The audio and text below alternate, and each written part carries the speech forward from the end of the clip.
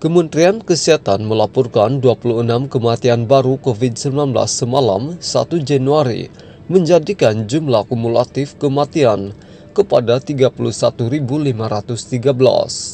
Kematian yang dilaporkan setiap hari melebihi 20 case selama 6 hari berturut-turut. Daripada jumlah kematian yang baru dilaporkan semalam, 11,5% atau tiga orang meninggal dunia sebelum mendapat perawatan di hospital. Kuala Lumpur mencatatkan jumlah kematian baru tertinggi dengan 7 case, membentuk 26,9% daripada korban baru dilaporkan.